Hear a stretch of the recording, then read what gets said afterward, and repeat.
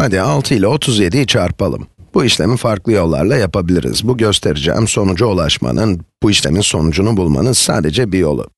Daha sonra izleyeceğiniz videolarda diğer yöntemleri de göreceksiniz. Tabii önemli olan bu yöntemin neden işe yaradığını iyice anlamanız. Şimdi işlemimize geri dönersek, öncelikle bu iki sayı arasında büyük olanı almak istiyorum. Bu yönteme genellikle standart yöntem deniliyor.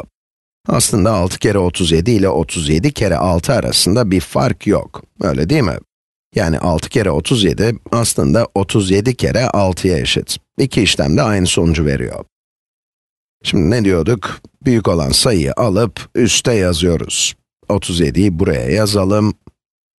Sonra da küçük sayıyı alıp alta yazacağız. Yazarken bu arada çok önemli basamakları alt alta getirmeye özen göstereceğiz. 6 tek basamaklı bir sayı, o halde birler basamağının altına yazmam gerekiyor.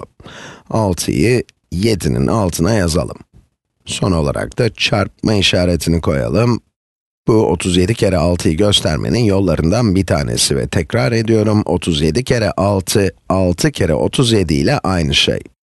Şimdi yapmamız gereken alttaki sayıyla üstteki sayının birler ve onlar basamağındaki rakamları ayrı ayrı çarpmak.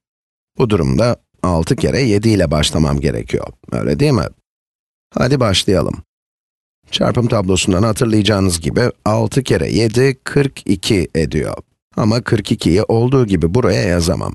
42'nin birler basamağındaki rakamı birler basamağına yazacağım.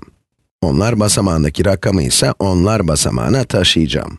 Evet, sırada 6 kere 3 var. 6 kere 3 ne eder? 18 eder. 18'de olduğu gibi yazamıyorum çünkü bu basamağa taşıdığımız bir de 4 var, bir önceki işlemden. 18'e 4'ü eklemem gerekiyor. 18 artı 4, 22 eder. Artık 22'yi buraya yazabilirim ve sonucumuza ulaştık. 222.